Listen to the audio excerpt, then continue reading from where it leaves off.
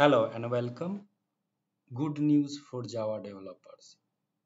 We are going to talk two features of Java 21.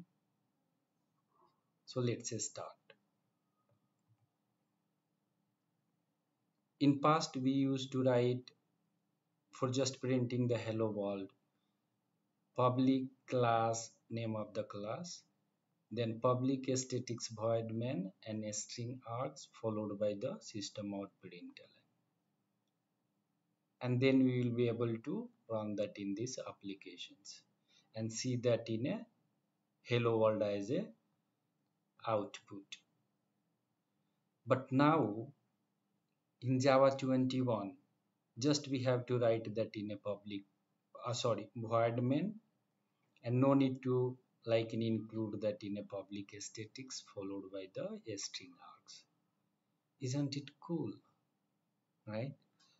So just we have to write class and name of the class followed by the void main and then just write system out println so this is the in one features what we are going to talk in this video.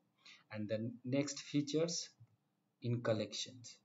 In collections so far there is no such as sequenced related stuff directly inbuilt into that.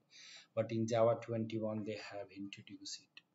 And now we have a sequence sequenced collections where we have a several method and one of them is a reversed you know. So sequence collections and then we use that directly reverse. So it will be reversed that in a the value. The another sequence set also got added in that in a part of a collections followed by the sequenced map. So here we have a sequenced map key value and then reversed. So these are the part of a collections changes. That is a second features we are going to talk. So now let's say you want to get a first and last element in the list so with help of a directly list dot get zero, which will be return that in a first element, list uh, dot get and list size minus one, which will be returned that in a last element. That is all about the in two features what uh, we are going to talk in this video. And please watch the in java page for uh, more details when they're going to release.